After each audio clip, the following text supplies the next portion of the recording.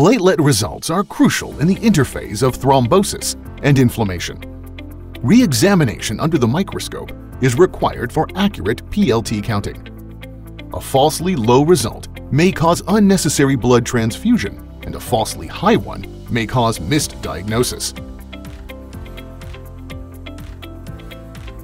Is there any way to simplify these tedious procedures? Optical and fluorescent PLT is a good solution. But can we get a reliable PLT result in a more cost-effective way? Let's see how Mindray BC700 series hematology analyzers can help. First, we have to understand what interferes with PLT counting. The RBCs and PLTs pass through the aperture one by one and generate the volume distribution of cells in impedance method.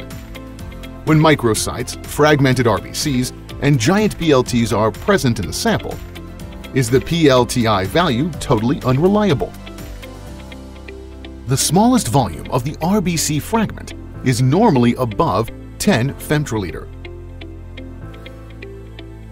Here is the histogram of a normal sample.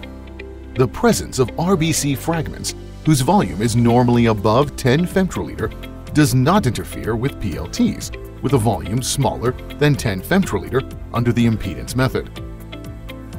Therefore, small PLTs are not interfered in the impedance channel. How can we measure the PLT larger than 10 femtoliter in Mindray BC700 series? With the help of LD lysis, all RBCs are lysed. In the diff channel, all lysed RBCs and PLTs are located in the ghost area, but we seldom pay attention to it.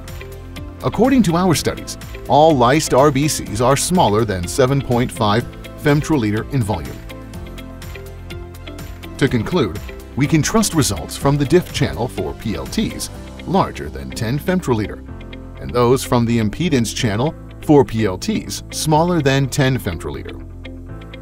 Mindray BC700 series gives you optical PLT in every CBC plus diff test.